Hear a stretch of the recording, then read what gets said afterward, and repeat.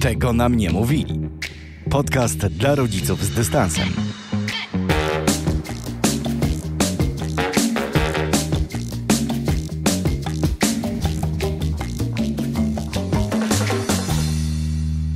Czy liczy się tylko rozmiar XXL? Czy wszystko musi być duże? W tym odcinku przekonamy Was, że nie i że dotyczy to także kochania. 24 godziny na dobę, 365 dni w roku. Mm, tak toczy się rodzicielstwo, bardzo wymagająca rola. Nie jest to odkrywcza myśl, wiem, ale warto to czasem podkreślić, e, żeby dodać sobie takiego poczucia: ej, wykonujesz olbrzymią, niesamowitą pracę. No tylko, że jeżeli my przekonamy siebie samych, że tylko działania dużego formatu sprawiają, że jesteśmy super rodzicami, albo w ogóle dobrymi rodzicami, bo raczej mamy skłonność do niedoceniania się niż przeceniania, no to jest to prosta droga do tego, żeby wyniszczyć organizm. Jak spacer to wielogodzinny, niesamowity. Jak książka to edukacyjna, najlepiej czytana w hamaku o zachodzie słońca. Jak zabawa to stymulująca, rozwijająca i trwa i trwa. No a jak się nie da, bo czas, bo zmęczenie, bo po prostu się nie chce, no to jest dramat. No więc nie, nie jest to żaden dramat. Posłuchajcie, bo być może nie zdajecie sobie sprawy, ile dobrego robicie każdego, nawet tego najbardziej stresującego i zabieganego dnia.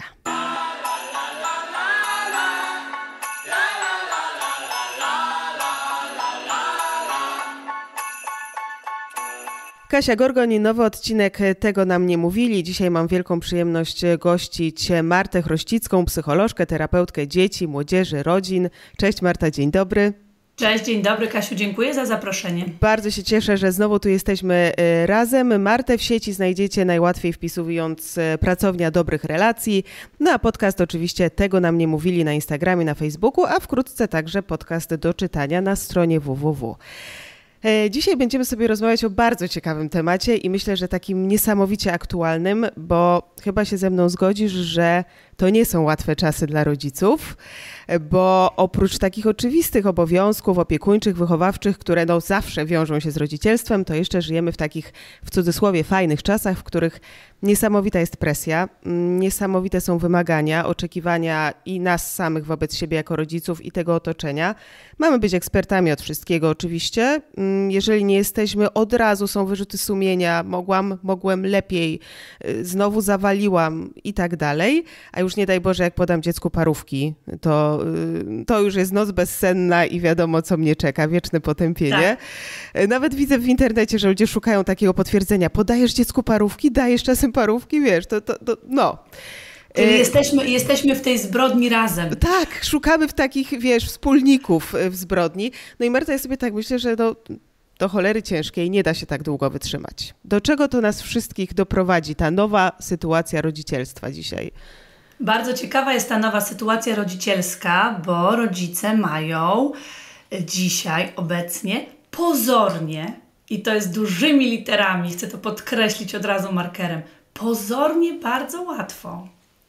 I jeżeli porozmawiamy, i na pewno każdy rodzic miał takie doświadczenie rozmawiania z tak zwanym starszym pokoleniem, to przynajmniej y, słyszę y, od rodziców i sama też takie doświadczenie mam, że pojawiają się argumenty pod tytułem jak wy teraz macie łatwo, bo macie te wszystkie u, ułatwiacze, te wszystkie pomoce, których myśmy nie mieli, od pieluch, słoików, pralek i tak dalej, żłobków i tak dalej, i tak dalej. I myślę, że właśnie to słowo pozornie łatwo jest tutaj bardzo, bardzo na miejscu i jakby przekazuje to, co też chcemy teraz, y, o czym chcemy To mówić. może być nasza odpowiedź. Pamiętajcie, jak ktoś nam to mówi, to pozornie, pozornie, od razu odpowiadajcie. Tak, prawda? Tak, Możemy drodzy. dodać. No właśnie, pozornie dużo łatwiej, prawda? Ale druga strona tego medalu to jest to, o czym Ty zaczęłaś mówić, czyli ogromna presja, to tak zwane rodzicielstwo eksperckie, które ja y, pożyczyłam sobie od Anity Janeczek-Romanowskiej, bardzo, bardzo mi towarzyszy często to, to sformułowanie, to rodzicielstwo eksperckie, czy rodzicielstwo eksperckości, gdzie tak jak Ty powiedziałaś na początku, właściwie to, żeby być rodzicem, to ja się muszę praktycznie doktoryzować, no, z, rozwo z rozwoju dziecka, z rozwoju mowy, yy, jeśli chodzi o dietę i... i, i, i Żywienie yy, oczywiście, tak. Tak, tak. I te sprawy związane z karmieniem i z dietą. Yy, I, w I w temacie rozwoju takiego intelektualnego i społecznego. I właściwie ta presja zaczyna przytłaczać rodziców, którzy... Mm, y, właśnie, wrócę do tego, co jeszcze powiedziałaś, którzy mają tę wiedzę, mm, no znowu, pozornie na wyciągnięcie ręki bo jesteśmy też otoczeni wiedzą, otoczeni ekspertami, otoczeni wiedzą, książkami, webinarami, otoczeni treściami, z których no właściwie można by skorzystać, czyli to poczucie winy, o którym Ty powiedziałaś, to ja rozumiem je między innymi tak, że przecież na pewno jest sposób, żeby lepiej to zrobić. On istnieje, on jest właśnie pozornie łatwo na wyciągnięcie ręki. I dlaczego Niestety, ty, matko, po niego nie sięgnęłaś na przykład? Właśnie, dlaczego po niego nie sięgnęłaś? No my żyjemy w tym, myślę, że w takim i rodzicielstwie, ale też w ogóle o trochę szerzej powiem o czasach szybkich tipów, lifehacków, 5 sposobów na, 10 metod na i tak dalej. 10 za dużo, 3. Tak, tak, do 5 myślę maksymalnie. Tak. I właściwie wydaje się, że to no przecież potrzeba tylko tych trzech kroków. Żeby się nie złościć, żeby mieć świetną dietę dziecka, żeby się z nim świetnie bawić. Czyli na wszystko jest sposób, metoda, no ale jak to z tymi złotymi radami, czasami nie wiadomo, co z nimi zrobić. Ja czasami tak mówię, prawda? To jest taka rada, I złote są tylko Złote są tylko z nazwy, bo, bo, bo tu się tak, złoto się kończy na nazwie. Tak, tak jest. No właśnie, więc można powiedzieć, że ta presja trochę atakuje rodziców z różnych stron, z różnych dziedzin i no właśnie, i jakby pojawiają się tutaj takie mi się pojawiają w głowie takie sformułowania jak przeciążenie, zniechęcenie, wypalenie, które oczywiście jest takim mocnym stwierdzeniem, też przestrzegam przed takim nadużywaniem go, ale e, spotykam wielu rodziców, którzy, albo coraz więcej rodziców, którzy dość otwarcie o tym mówią. O takim wypaleniu i przemęczeniu, e, trochę znużeniu e, tym tematem rodzicielstwa. To się pojawia chyba najczęściej jak dzieci są małe, prawda? Bo, bo tych obowiązków, tego wysiłku jest dużo, takiego e, fizycznego też, prawda? Więc tu chyba jest największy potencjał, żeby dojść do takiego stanu. Tak, szczególnie właśnie przez te wypalone zasoby takie, takie fizyczne, związane ze snem, z taką ciągłą opieką i takim, takim byciem w roli opiekuna, no właściwie 24 na dobę.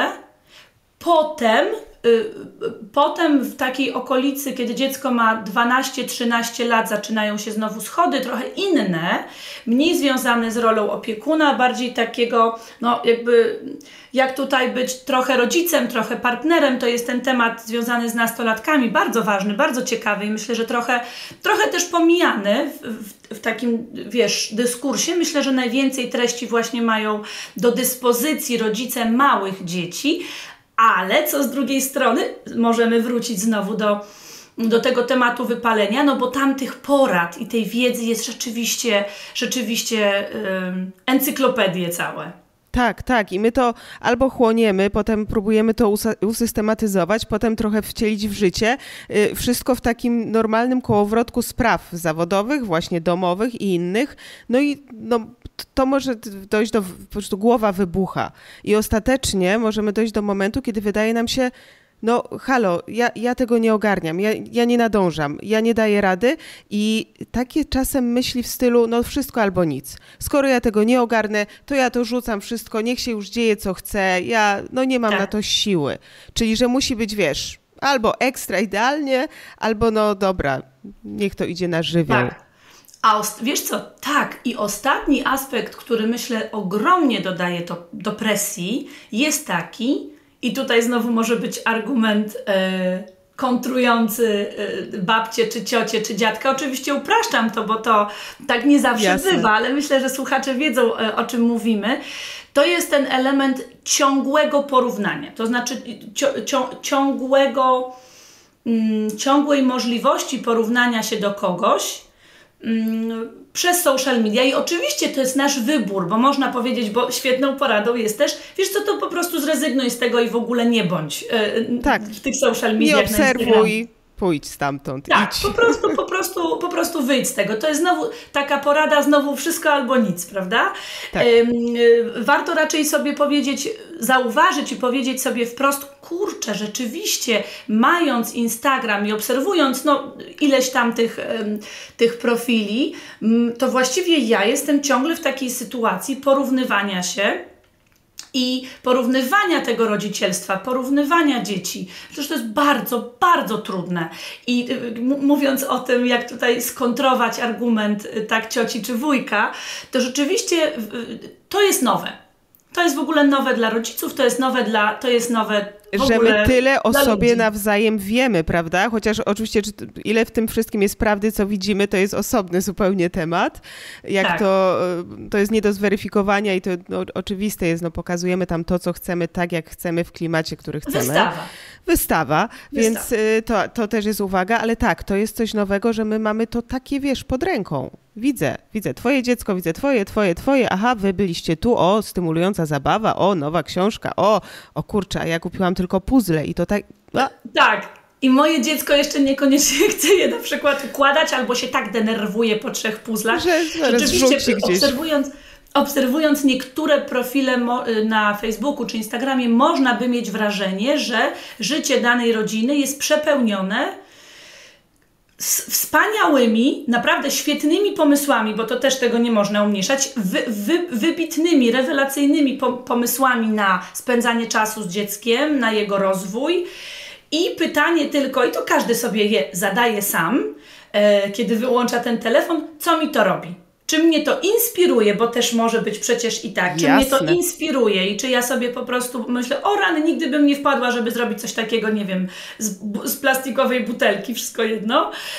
I chcę i, i chcę i mi się to podoba i po prostu robię to fajnie, czy to mnie dołuje, bo ja tego nie wymyśliłam, nie mam czasu, nie lubię tego robić. To też takie tabu wśród, myślę, wśród rodziców, że na przykład nie lubią się bawić w jakąś zabawę. Tak. I taki tak, dylemat. No? Tak. Ja wiesz co, tu w rozmowie kiedyś e, z psychologiem Jarkiem Żylińskim my doszliśmy do tego, on to tak fajnie powiedział, słuchaj, zanim dziecko cię zarzuci swoimi pomysłami na zabawę, e, na zabawy, których nie lubisz, męczą cię, nie chcesz, wejdź, wyjdź z inicjatywą zabawy, która tobie też sprawia radość, E, dziecko z reguły po prostu chce się bawić, będzie ten czas z rodzicem po prostu łapać i, i cieszyć się nim i wszyscy są zadowoleni, e, bo nie trzeba lubić każdej zabawy i nie trzeba się bawić codziennie po 6 godzin, żeby dziecko było odpowiednio stymulowane i dobrze się rozwijało. Można czegoś nie lubić. Yy, zabaw jest milion, prawda?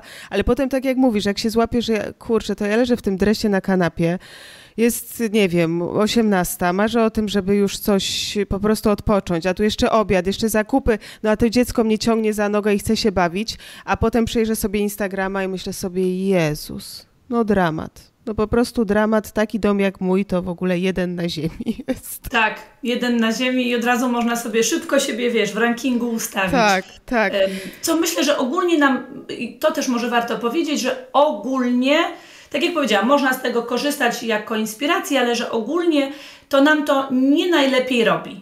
Tak. Da, taka ciągła, taka ciągła, ciągła dostępność tego, tego porównywania. Ta, Jeżeli ta, nie umiemy coś, czegoś sobie wyciągnąć i o dobra, to ja to dzisiaj zrobię, bo mam czas i mam taki power, zrobię to, no to faktycznie może to nam y, bardziej zaszkodzić niż pomóc.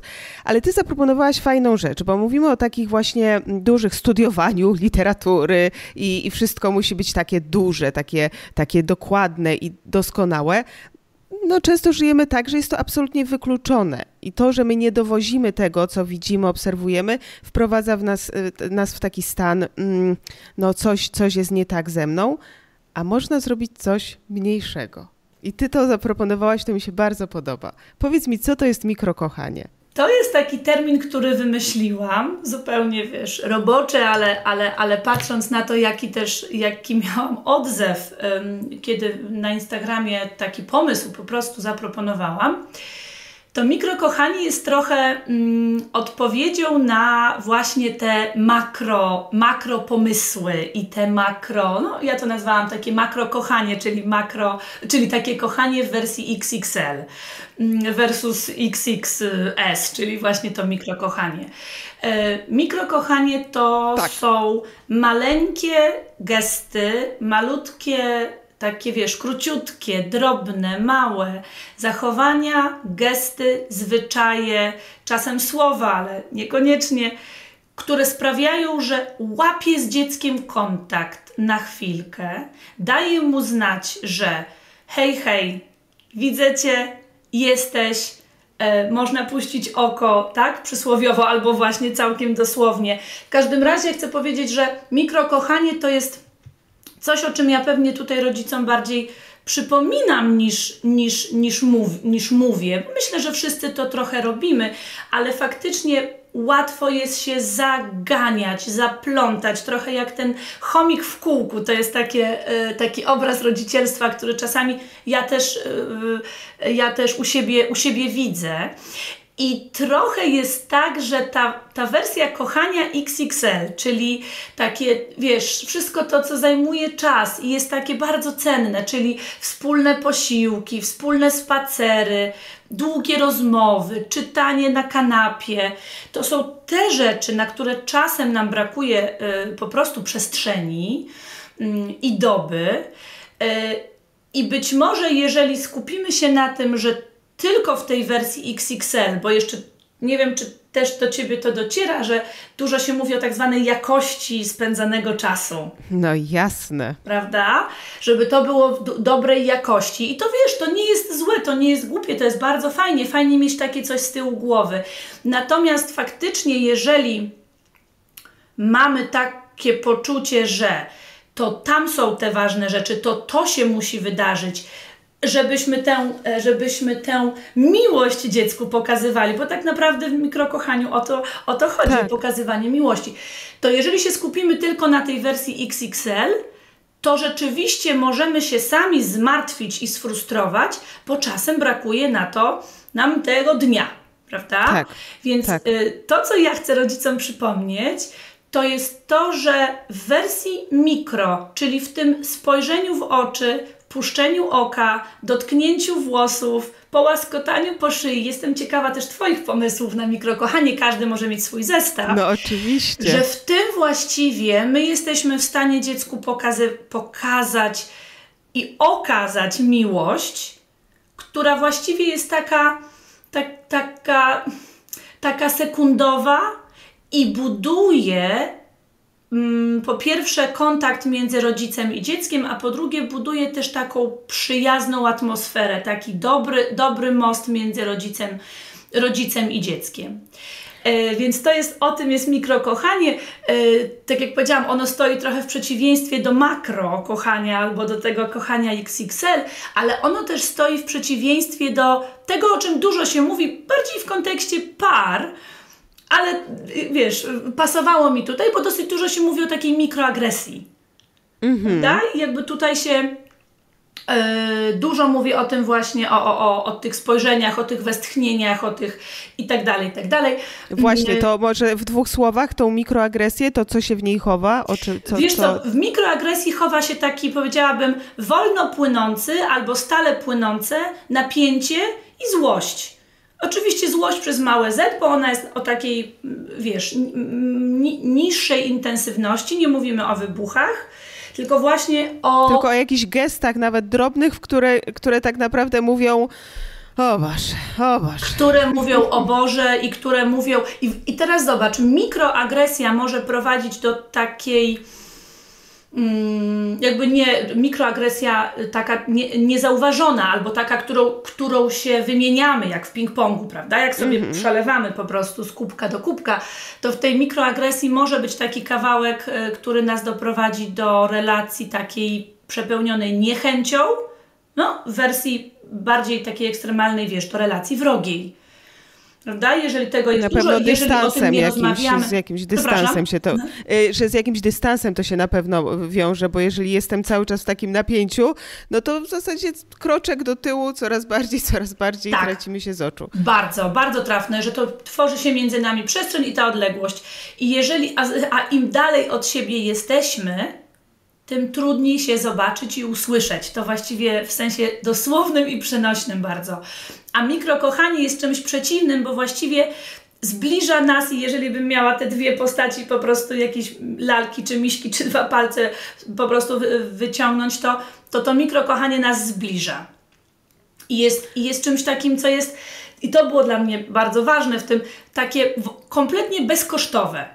To znaczy, nie trzeba się do tego przygotować. Nie, ja nie muszę przeczytać dwóch kolejnych książek, żeby, żeby to po prostu w tej sekundzie wprowadzić. Być może Ani ktoś, kto nas słucha, dwóch godzin wolnego e, czasu. Tak. tak.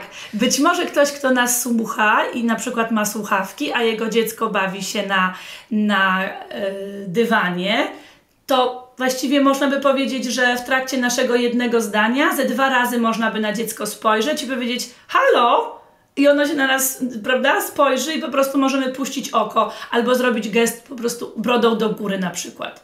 Prawda? Tak. To jest tak, tak krótkie, tak małe, takie szybkie. No to widzisz, ty powiedziałaś, że większość rodziców y, robi takie gesty, tylko że chyba to, co jest tutaj najistotniejsze, że y, wyciągamy to z takiej sfery, to nie ma znaczenia, co ja tam zrobiłam, dzisiaj się w ogóle nic ciekawego nie zrobiłam z tym dzieckiem, to nic, nic, a potem zaczynam się zastanawiać, okej, okay, a było to, to, to, właśnie te małe gesty, o których wspominasz, i nadajmy im znaczenie. Pamiętajmy, że one znaczą, że one też są już czymś dobrym, fajnym. I Zdecydowanie.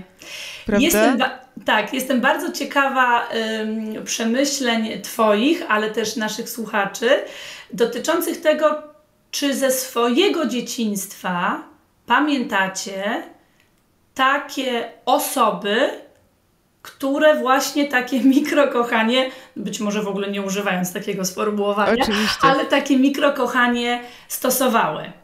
E, jestem ciekawa, czy ty masz takie wspomnienie. E, mam takie wspomnienia i e, zupełnie chyba to tak podświadomie działa, że powielam je ja jako matka. Tak. I jedno z takich naj, najmocniejszych moich przyzwyczajeń to jest ściskanie ręki dziecka.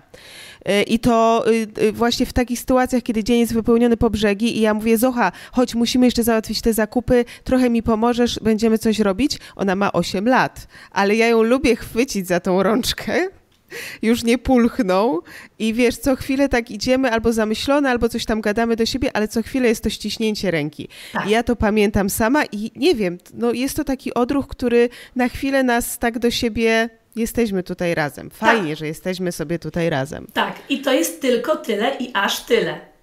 Tak, albo pomiędzy czynnościami, ręki, prawda? Tak, albo ściśnięcie ręki, kiedy stoimy, wiesz, w kolejce i jest zabiegane po prostu w, w dużym jakimś sklepie i ludzie wokół nas, to takie ściśnięcie ręki jest po prostu znakiem, dobra, jesteśmy w tym razem, bardzo mi się to podoba.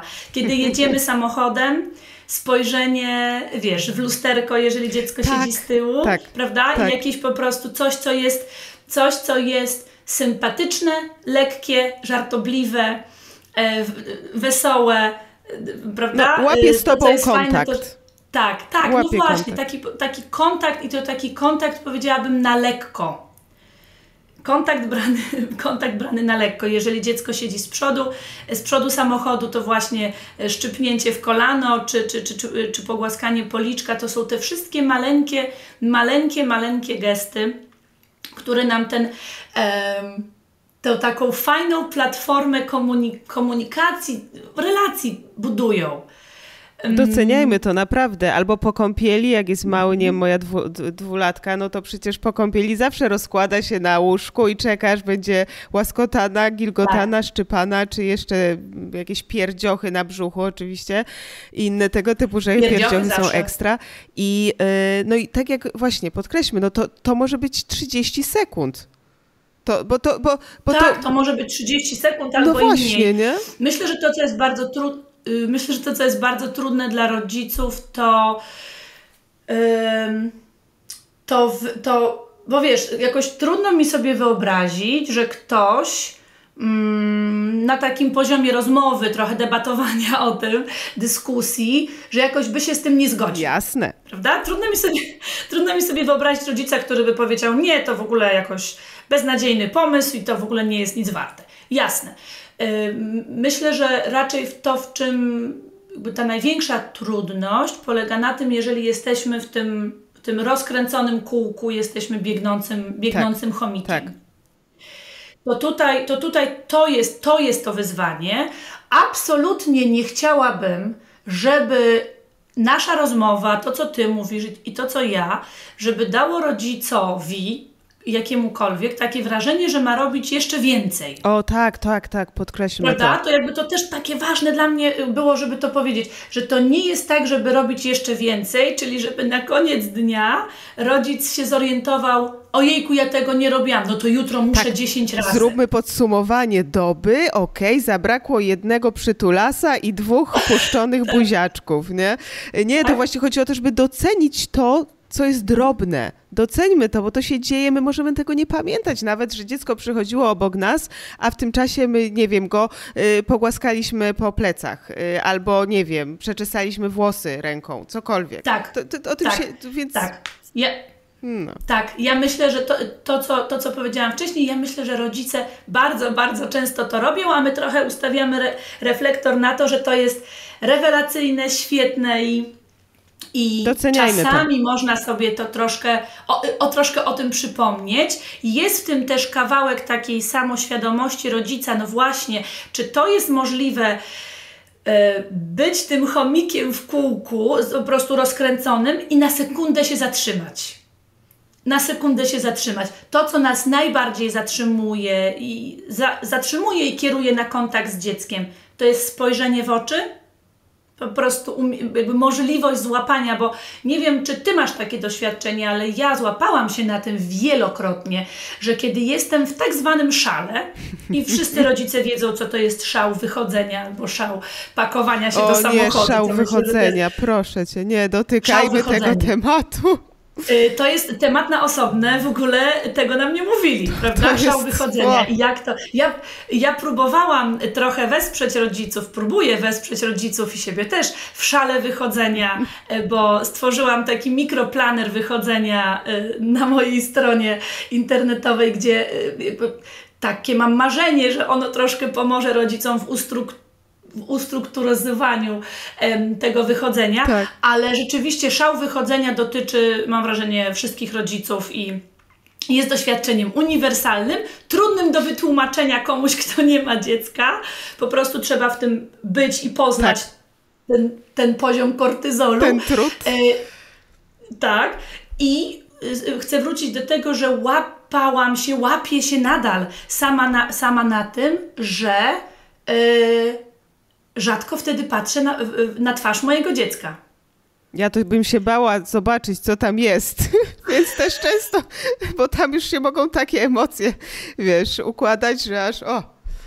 Tak, tam mogą być emocje i wręcz strach, strach się w to zanurzyć. Ale wiesz co, e, ja myślę, że to trochę działa, jakby to jest samo napędzający się mechanizm, prawda? Bo jeżeli my jesteśmy w szale i po prostu tu mam wózek, tu zapomniałam chusteczek, tutaj jeszcze mi po prostu skarpetkę okazało się, że ma dziurę i tak dalej, nie muszę mówić, wszyscy wiedzą, co to, co to jest za sytuacja to ja myślę, że dziecko, Właśnie, yy, to jest ciekawe. Z, zwróćcie uwagę u swoich dzieci. Są dzieci, które wtedy też się wyłączają z kontaktu, albo druga wersja, to może być to samo dziecko, może być raz tak, raz tak, ale warto troszkę temu przyjrzeć, yy, bo druga wersja jest taka, że dziecko wtedy się tego kontaktu niezwykle silnie domaga. Mhm. Bo widzi rodzica, który jest właśnie nie w kontakcie. I nie chce stracić tego dostępu, bo to jest dla niego tak. kluczowa sprawa. Tak. I szczególnie jeżeli macie 3,5 latka, latkę, 5,5 latkę, latka, bo to są te dwa momenty, kiedy w ogóle następuje takie w rozwoju takie trochę tąpnięcie poczucia bezpieczeństwa i wtedy się pojawiają te mamozy i dzieci są, rodzice często mówią wtedy ojejku, moje dziecko już coś tam umiało samo, a znowu chce, żebym ja I od początku lecimy, tak. Tak, to jeżeli, szczególnie jeżeli macie 3,5, 5,5, to zobaczcie, jak wasze dzieci reagują w tych momentach, bo dla nich sytuacja, gdzie rodzic jest, moja babcia mówiła, ciało jest, a dusza szuka, czyli po prostu ciałem jestem, ale jestem zupełnie w czymś innym, e, to to są takie momenty, które włączają w mózgu dziecka e, taki przycisk, oj, tu jest jakoś niebezpiecznie. I trzeba rodzica do tego kontaktu przywołać. I wtedy dzieją się te rzeczy, które my też wszyscy jako rodzice znamy, czyli albo płacz, albo taki właśnie brak współpracy, albo to słynne nie umiem założyć buta, mm, prawda? Czyli to są i wtedy, zobaczcie, możecie, może trudno w danym momencie, ale możemy mieć refleksję po, że to jest sposób dziecka na nawiązanie kontaktu. I to jest trochę druga, tam kolejna rzecz związana z mikrokochaniem, że warto różne rzeczy, które dziecko robi, niekoniecznie przyjemne, czy miłe, czy fajne, rozpatrywać jako próbę nawiązania kontaktu. No tak, y, możemy popatrzeć, to po prostu on, on, mnie wkurza. Co on robi? Dlaczego utrudnia to? Dlaczego to przyciąga? Dlaczego się tak zachowuje, że ja jestem zdenerwowana? Ehm, a to zachowanie z reguły no, jest właśnie przykrywką do czegoś. Na przykład do tego do zauważ mnie, pomóż mi z tymi butami, dotknij mnie i już. Nie? Tak, tak, bo y, no, mówi się, że czasami nawet taka ne negatywna uwaga, to znaczy taka trudna, nie negatywna uwaga, tylko taka uwaga jeszcze zabarwiona tru trudnymi emocjami rodzica, mm, czyli na przykład złością, frustracją, to że taka uwaga jest lepsza niż żadna. Mhm. Czasami i w niektórych, i w niektórych, i w niektórych momentach. Y, I są też znaczy do pewnego wieku dzieci też yy, no, mają ogromną trudność z takim yy, no, odroczeniem tego, prawda? Czyli z tym takim poczekaj, za chwilę, zaraz. Jeżeli na przykład dziecko bardzo źle znosi, to właśnie około 3-3,5 lat, bardzo źle znosi, jeżeli rodzic rozmawia przez telefon. O, oczywiście, że tak. Oczywiście, prawda? Ja nie wiem, czy ja już u Ciebie nie mówiłam, ale to jest mój absolutnie flagowy przykład, który mówię wszędzie, gdzie tylko mogę. Znam mamę, której dziecko, jak tylko odbierała telefon z pracy, leciało do szafki, wyciągało odkurzacz i lizało rurę od środka. O matko kochana. No nie wiem, czy u Ciebie tego już nie mówiłam, ale tak mówię, dzielę się tym przykładem. Mistrzostwo I... świata. Mistrzostwo świata, również jeśli chodzi o skuteczność. No. Bo nie ma takiego telefonu, którego nie odrzucimy, żeby po prostu dziecko y, od tej rury, czy tam tą rurę mu z tego buziaka zabrać, a po prostu patrząc na mamę, lizał rurę w środku od odkurzacza i to po prostu y, mama aż wyskakiwała z siebie, rzucała No tak, telefon. bo ten telefon zabiera rodzica. Jesteśmy skupieni na czymś innym. Nie widzimy tak. nic, prawda? Nawet, nie wiem, coś się dzieje, tam ktoś puka, możemy tego nie usłyszeć, bo jest skupienie na rozmowie. Tak. Tak, to jest ten słynny, y, y, pewnie wiele osób zna, ale, ale to polecam tym, którzy nie znają, ten słynny still face experiment czyli eksperyment z tą e, e, nieruchomą tak, twarzą. Tak. Możecie wpisać sobie po prostu wyszukiwarkę i zobaczycie, jak dużym dystresem dla dziecka jest sytuacja, kiedy my, nasza twarz, twarz rodzica, twarz tego opiekuna, który mi zapewnia bezpieczeństwo i miłość, jest nieresponsywna, tak, nie, nie odpowiada, nie jest tak, w kontakcie. Tak, tak. Powiem Ci, że to nawet u starszych dzieci, bo moja ośmiolatka też nie przepada za tym, jak rozmawiam przez telefon i dokładnie w tym momencie ma mnóstwo spraw, które musi ze mną poruszyć i żaden argument, że zaraz skończę jeszcze chwila, to nie, nie, nie, to tu i teraz.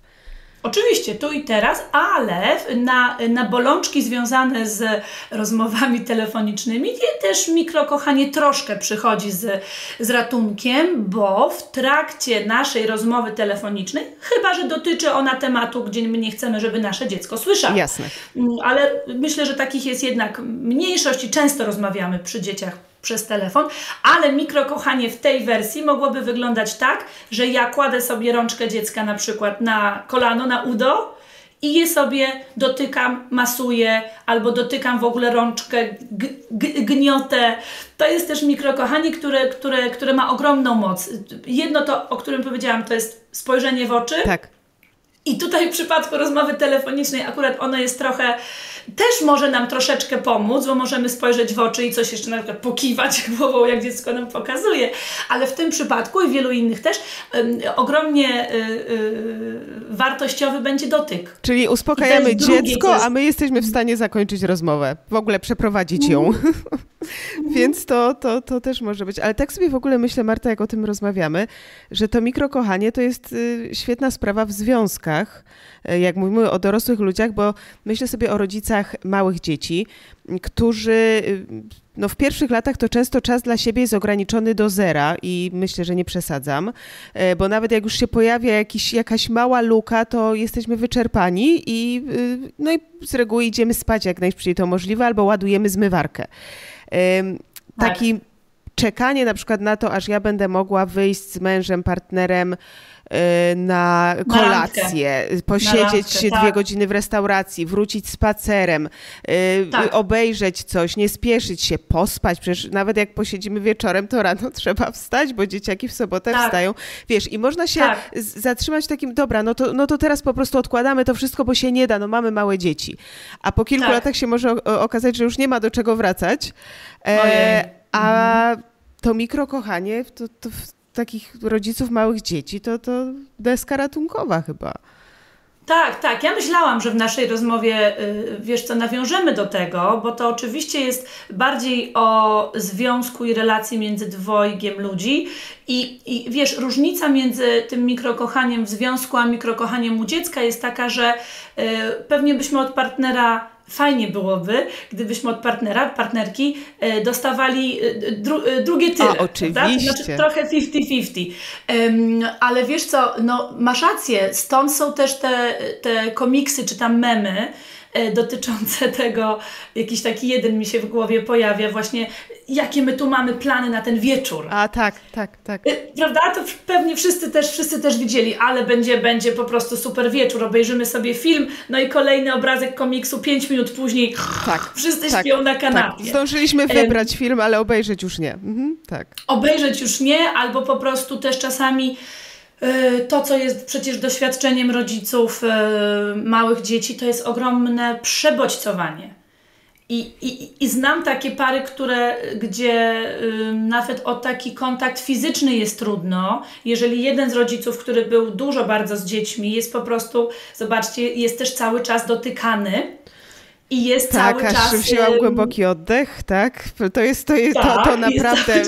No wyobraźcie sobie, no wszystkie właśnie. mamy karmiące. Ja mam prawie trzylatkę, tak. która już nie karmię jej od jakiegoś czasu. Wciąż ta mhm. rączka wędruje pod koszulę przy zasypianiu, Oczywiście. przy jakimś zdenerwowaniu i ja już czasem sobie myślę, mhm. żebym sobie tu wycięła wszystko, żeby nie musieć tego mhm. przeżywać. No to są, tak, to są trudne sprawy. Tak, myślę, że ten, myślę, że ten temat, wiesz co, ten temat jest bardzo, jakoś mam takie poczucie, mało omawiany, trochę mar marginalizowany jest, yy, jest taki temat, a jednocześnie wracamy do początku rozmowy i tych oczekiwań i tego, że rodzice chyba, mam wrażenie, dużo słyszą o tym, że to jest bardzo istotne, żeby oni byli mm, dostępni tak. i gotowi, prawda? Jakby y, też tacy odzwierciedla, odzwierciedlający. Naprawdę rodzice robią, rodzice, których ja spotykam, czyli po prostu, no nie wiem, no tysiącach mogę liczyć, mm, co oczywiście nie jest całą populacją, więc dzielę się swoim doświadczeniem, ale mm, z tego doświadczenia czerpiąc mogę powiedzieć, że to są rodzice, którzy niezwykle dużo robią niezwykle są da dający, od oddający, dający, dbający, tak. uważni. Naprawdę, więc y, y, ten mem, ten mem z tą kanapą, gdzie my już po prostu albo właśnie, albo usypiamy i popcorn się nam wysypuje, jeżeli zdążyliśmy zrobić. Tak. Y, popcorn się nam wysypuje. Albo na przykład siedzimy na dwóch krańcach kanapy z telefonem, no to też częste obrazki i w internecie, i we w naszych domach. No pewnie. I w życiu, w życiu. prawda? To znowu, y, i znowu, i być może, y, wracam do tego, co Ty mówiłaś, i być może planujemy sobie albo marzymy y, o tej wersji XXL, o tym wieczorze, o tej nocy takiej spokojnej, prawda? Że to już minęło i że już nie ma i teraz trzeba czekać długo na to, aż to wróci. No. Tak, i trzeba czekać, aż wróci, albo trzeba czekać dwa tygodnie i wiesz, i tak do oczekujemy, aż będzie ta niania, czy, czy teściowa, czy mama. A potem dziecko choruje i... Mhm. Tak. Znowu I, czekamy. I, no właśnie, no właśnie, więc faktycznie mikrokochanie, czyli te momenty łapania kontaktu, momenty spojrzenia na siebie, momenty uśmiechu, myślę, że dla rodziców małych dzieci to mogą być też momenty, gdzie wspólnie sobie spojrzymy po prostu w sufit i zrobimy o, na przykład takie coś. Tak, znowu jesteśmy trochę... w tym razem, prawda? Tak. Jesteśmy w tym razem, daję ci ten sygnał. Rozumiem, czuję i wiesz lecimy jakoś z tym koksem. I lecimy, I lecimy z tym łomatko, tak? Trochę, tak. Ale, ale że jesteśmy z tym razem. To znowu, to tutaj to nie jest, to jest w ogóle bezkosztowe. I jeżeli mówimy i metaforycznie, i dosłownie, bo bezkosztowe, czyli nie musimy organizować, bo y, wiesz co, inny taki wątek, który ja poruszyłam na swoim profilu i miał kolosalny od, odzew, spotkał się z odzewem rodziców, to po prostu setki wiadomości dostawałam, do, dotyczył właśnie kosztów przyjemności rodziców i tego, że yy, dobra, ja poproszę teściową czy mamę, ale te koszty są ogromne, bo ja muszę dziecko na to przygotować i potem siedzę w tej restauracji i jeszcze myślę albo dostaję SMS-y. Lub koszty finansowe, jeżeli jest to niania, która, której należy tak. za ten czas zapłacić. A tu wiadomość, że Basia nie zjadła kolacji, chyba coś ją boli brzuszek i nagle okej. Okay. Ale siedźcie spokojnie, tak? Ale już po prostu w pół, w pół łyżki zupy się denerwujemy. Czasami rodzice mówią, że po takim E, wyjściu czy randce też dziecku jest jakoś trudno, czu, czują, że jest rozmontowane, więc te, więc te koszty się mnożą. Nie, nie wszyscy, ale czasami się zdarza, że koszt dotyczy też takiej emocjonalnej sfery. Jeżeli akurat tak się dzieje, że jest trudna relacja z mamą teściową, nianią, sąsiadką, nie wiem, z tą osobą, która mm, siostrą, wszystko jedno, bratem, tak, którzy zostali z dzieckiem, to tak taki emocjonalny koszt czasami dotyczący właśnie jakiejś oceny naszego dziecka czy naszego wychowania i z tym też wiem, że rodzice się borykają i czasami decydują ostatecznie, że dobra, to już nie idźmy, bo te koszty tak. są właściwie tak, bo ja się bardziej zmęczę emocjonalnie niż wypocznę, więc po prostu już to dobra, kiedyś będą lepsze czasy. Tak, tak, tak, tak. Tak, tak, tak. I, i, i wyczekamy, i, i, i, i tak jak Ty powiedziałaś, z tym czekaniem też może być trudno. Ja myślę, że y, o, oczywiście jako dorośli umiemy wiele rzeczy odłożyć um, na później, i to jest też um, charakterystyczne dla relacji z dzieckiem, że są dwie osoby, ale jedna chciałam powiedzieć jest wyżej, bo taki zrobiłam gest ręką, ale, ale nie w znaczeniu wyżej, to znaczy jakiejś e, władzy, prawda, nad, mhm. nad dzieckiem, ale tym, że to jedna osoba dba i o swoje emocje, y, przepraszam, i o swoje potrzeby, i o potrzeby dziecka, prawda? W, w relacji równoległej to właściwie dbamy, no o swoje i trochę o drugiej osoby, jeżeli, jeżeli mamy na to gotowość. Natomiast w relacji z dzieckiem dziecko nie, nie może dbać o nasze potrzeby i zajmować się naszymi potrzebami, prawda? Stąd to bardzo ważna uwaga. Tak. relacja. Tak, ale powiedz mi Marta, jak to, jak sobie o tym gadamy, jak urealnić te standardy, o których y, y, rozmawiamy, te oczekiwania. Jak my mamy zejść na ziemię i się po prostu od siebie odwalić? Tak mi się to mhm. kojarzy, że my sobie po prostu dajemy ciągle, wiesz, no, nowe rzeczy, ciągle mamy powód, żeby się biczować. Jak urealnić to, co my mamy temu ty, dziecku dać, jakimi rodzicami mamy być? My możemy jeszcze z tego kołowrotka y, rodzicielstwa samego, nie, nie życia ogólnie, wyjść to, co widzę, że pomaga rodzicom chyba najbardziej, mi również, jestem ciekawa jak tobie, to jest zderzenie, zderzenie czy skonfrontowanie się z osobą, ale nie tą z social mediów, nie tą, której ja nie znam i tylko widzę jej tę wystawę. E, Wycinek. Tylko właśnie tak, tylko, tylko, tylko yy, skonfrontowanie trochę swoich trudności i tego, co się robi, z drugą osobą w podobnej sytuacji, yy, taką, z którą relacja mnie raczej karmi i buduje, a nie sprawia, że jestem jak balon bez powietrza, dołuję i mam złe myśli na swój temat. Myślę, że to jest coś, co jest najbardziej wspierające, jeśli chodzi o, mm, o takie urealnienie. Ten Twój przykład z parówką, myślę, że jest po prostu tutaj świetnym, yy, jest świetny i właściwie pozwala pozwala trochę zrobić krok w tył z takiego miejsca mm, perfekcjonizmu i takich, wiesz, wysokich oczekiwań i tych dopływów, bo tak sobie to trochę wyobrażam, wiesz, takich dopływów y, oczekiwań i stresu, specjalnie tak blisko łączę jedno z drugim i trochę zrobić, wiesz, krok do tyłu, trochę jakby na inny kwadrat tej planszy przejść i zobaczyć, że ale dobra, to to jest coś, co ja bym może chciała, ale jestem w takim kwadracie, który się nazywa a co jest możliwe. O. A co jest możliwe dla mnie w tym momencie? Bardzo pomaga temu, yy, bardzo pomaga w tym refleksja i jakby to, co powiedziałam, że można sobie samemu we własnej głowie ten krok zrobić, ale bardzo pomaga i myślę, że nie, nie, nie przeceniałabym tylko takiej tak zwanej pracy własnej, tylko wierzę, wierzę, że wię, wierzę, że większą moc, większą siłę i większe wsparcie przynosi e, relacja z drugim dorosłym, który właśnie powie, wiesz co, ja też tak mam czasami. Tak, czyli żywy człowiek, który żyje tutaj, tak. w tym realnym naszym świecie, tak. jest nam bliski. Tak. Ja tu się zgadzam z Tobą w stu procentach, ale dopiero teraz sobie to uświadomiłam, jak to powiedziałaś, bo mm. moja y, serdeczna, wieloletnia przyjaciółka Ola, z którą urodziłyśmy dzieci w bardzo podobnym czasie, a drugie to w zasadzie równocześnie, mm. y, to cała ciąża i, i potem teraz prawie codzienne telefony, czasem krótsze, czasem dłuższe, jak się to udało zorganizować, w takich zdawaniu sobie trochę relacji, trochę pokazywaniu, mm, takim y, y, szukaniu tego zrozumienia tego człowieka w tym samym punkcie, w którym ty jesteś.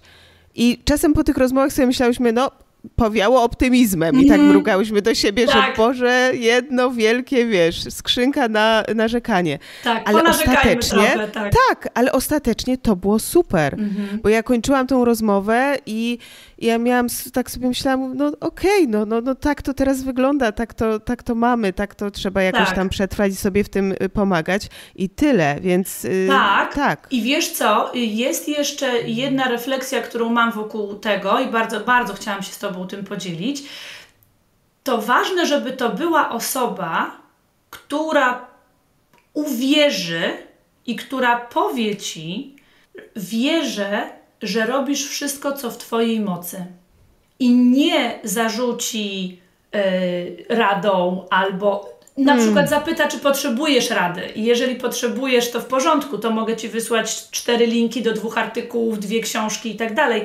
Ale tak, które rozwieją Ci jakieś jeszcze. obawy, czegoś, coś Ci pokażą. Tak, tak, tak. tak. Ale bazowo uwierzy, że robisz najlepiej, jak umiesz w danym momencie. Myślę, że to jest niezwykle ważne. Kiedy pracuję z rodzicami dzieci albo z taką trudnością, jakąś trudnością rozwojową, albo y, z takimi zachowaniami, które są dla tych rodziców trudne, dla innych też mogą być trudne. Y, jakoś wokół, wokół, wokół świąt też y, tutaj moje myśli krążą, bo, bo dużo o tym rozmawiałam z rodzicami, właśnie, że się obawiają o oceny, komentarzy i tak to jakoś faktycznie to, czego brakowało bardzo, bardzo tym rodzicom, to było to, że ktoś im powie, wiesz co, widzę, że trudno tobie, wam, ale ja wierzę, że, że robicie najlepiej, jak potraficie w danym momencie. I to jest po prostu tak niezwykle takie, wiesz, nawet wzruszające dla mnie, kiedy o tym myślę, żeby takie coś usłyszeć. Pamiętajcie, tak. że możecie też być taką osobą, która to komuś też powie, prawda? E, I jeżeli Twoje dziecko nie śpi e, albo, e, wiesz, strasznie szybko się przebodźcowuje i wtedy zaczyna krzyczeć, prawda, to, to ja i tak wierzę, że Ty po pierwsze chcesz dobrze, a po drugie, że używasz wszystkich narzędzi dostępnych dla Ciebie w danym momencie, żeby sobie z tym poradzić. Czy chcesz ode mnie jakiejś porady, czy nie. To jest jakby takie Jasne, tak, idealna tak, wersja. Pamiętajmy o niechcianych radach. Ja to też często podkreślam, że wjazd ze swoją radą, wiedzą i, i, i czymś w, w niechciane miejsce, tam gdzie ktoś w ogóle tego nie oczekuje, jest w takim stanie, kiedy akurat rada mu nie jest potrzebna. Potrzebuje na przykład obecności, przytulenia i nie wiem, jakichś kilku ciepłych słów. Mhm. To tak, to jest bardzo istotne, że z tymi radami wjeżdżajmy ostrożnie, tylko z, dla chętnych. Z radami wjeżdżajmy ostrożnie, to jako y, temat nadrzędny chyba każdej rozmowy, którą tutaj masz. A drugie, dla mnie na, najważniejsze z naszej rozmowy to jest, że w ogóle nie warto czekać na miłość i na okazywanie miłości dziecku i innym, których kochamy, jak to koleżanka moja z, z zespołu mówi, kawa nie wyklucza herbaty, czyli jedno ta wersja XXL i ta wersja mikro y, miłości jest jest y, ważna w życiu i myślę, że ja jako pracownia dobrych relacji to tutaj na sztandarze po prostu mam to, że relacje z ludźmi i ta więź, którą mamy z niektórymi ludźmi jest absolutnie najważniejszą, najważniejszą sprawą w życiu. To w ogóle podkreślam i nie mam co do tego w ogóle wątpliwości. I że absolutnie nie warto czekać na sprzyjające czasy, żeby miłość one nie nadejdą. Nie ma takich. One są teraz, będą za tydzień, będą za dwa lata, nie będą lepsze, inne, raczej nie. Powiem Ci, że w, w, właśnie dotknęłaś tego, bo ja nie robię postanowień noworocznych z reguły. Jakoś bardziej traktuję czas taki, że on sobie płynie równo, a nie nagle tak. się ucina, wiesz, i zaczyna tak. od nowa. E, chociaż ma to w sobie jakąś taką ożywczą moc, na pewno. Ale raczej tego nie robię, ale jedno sobie pomyślałam pod koniec roku właśnie w tym kontekście, że ja mam tendencję do wybiegania bardzo w przyszłość, wiesz, i do czekania, że ja mam już już prawie 40 lat, a moje dzieci takie małe, przecież co ja sobie będę miała 50 jak ja. Mm -hmm. Znowu, znowu zacznę żyć, tak się mówi. Tak, e, tak. Więc, więc sobie tak obiecałam, że będę się starać bardziej zwracać uwagę na tu i teraz i, i to tu i teraz łapać w, w taki fajny sposób. Ale zastanawiam się, czy ty jako psycholożka robisz takie postanowienia, jaki masz do nich stosunek? Myślisz sobie, robisz takie jakieś podsumowania i a w tym roku to, to i to i to. Nie, wiesz co, nie spisałam ich, więc um, więc może gdyby były spisane i takie bardziej, bardziej rzeczywiste, to y, jakoś bym czuła, że takie są, wiesz, mm, realne, ale dużo o tym, dużo o tym rozmawialiśmy, bo my znowu w rodzinie często rozmawiamy o, y, o planach i o różnych marzeniach i każdy swoje, swoje wypowiada. Chyba bardziej właśnie w takim, y, w takim temacie mm, marzeń niż postanowień. Ale wiesz co, y, tutaj, tutaj na wizji bardzo chętnie y, takie postanowienie swoje wypowiem, żeby właśnie zatrzymywać chomika w kółku, y, bo to jest, wiesz, bo, bo to jest nie tylko dla mojego dziecka, bo zatrzymanie chomika w kółku jest przede wszystkim dla mnie. Więc zacznę od, wiesz, od siebie, od siebie Marty człowieka, a dopiero potem mamy to dla, dla Marty człowieka to myślę, że zatrzymywanie chomika w kółku yy, i po prostu, yy, wiesz, zrobienie tego kroku w tył. To to byłoby moje postanowienie. A w konsekwencji, no bo co zrobić już jak potem się zatrzyma? Złapać kontakt z kimś, kto jest ważny dla mnie. A takie no, postanowienie To jest piękne. Miała.